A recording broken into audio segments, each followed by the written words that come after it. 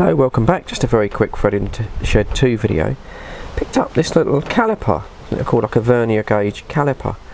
And I do have a digital one, I'm sure most of you have got, you know, cost about 10 quid on eBay. I put a little picture up, you know, I've got that in the uh, in the garage. The only trouble with that is I only use it very infrequently. And uh, every time I use it, it seems that the battery's dying and it's flashing. And it's also quite big. So I, I saw this on eBay um, for £1.50 delivered. it's sort of made out of copper brass material.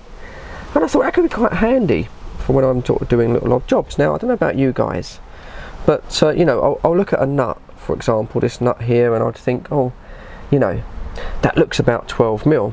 And I'd come into uh, the shed here, I'd grab a 12 mil spanner, and it doesn't fit you oh, that's a little bit bigger, so uh, it's probably a 13 mil. And it, I don't always get it 100% right, so I thought this would be quite handy just for having in the, uh, it's a fit in the back of my pocket.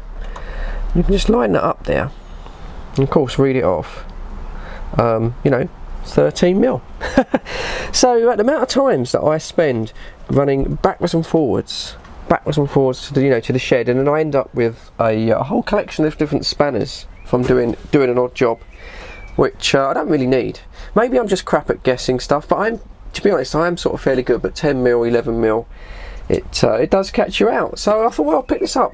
I'm quite impressed with it. It's going to go just sort of, uh, you know, in the back of my pocket if I'm doing a little job around the house, or even maybe on the car, just for sort of measuring, you know, just for make, getting a very quick, quick, rough measurement of a, a nut or you know a bolt, something like that just to sort of save me running around. So I'll leave a link to this in the description. I think it's quite nicely made. I, I, it's amazing how they can produce something like this um, for less than two quid delivered. £1.50 but I'll leave a link you might be interested might want to sort of add something like this to your toolbox um, I felt you know I've been using it when I've been doing, doing the uh, work on the Volvo and uh, you might find it uh, interesting as well but you might not.